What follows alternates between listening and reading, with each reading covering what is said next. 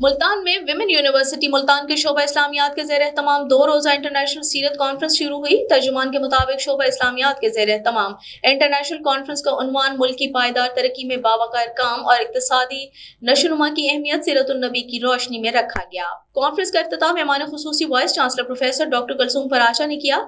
इफ्ताही session से खिताब करते हुए उन्होंने कहा, महँगाई ज़्यादा आलमी मीशत में पाकिस्तान समेत दीगर मुस्लिम ममालिक के लिए एक मौसर इकतसादी हमत अमली का होना इंतहाई ज़रूरी है, जो इकतदी तरक्की, खुशहाली को फ़रोग देता हो।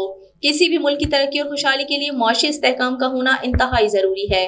सीरत नबी की रोशनी में पाकिस्तान में मुआशी इसकाम को फ़रोग देने वाली मौसर, मुआशी हमत अमली तैयार करने के लिए बहुत से मुआशी असूलों पर अमल करना होगा, जिनका इतलाक करके मुल्की मीशत को बहरान से निकाला जा सकता है।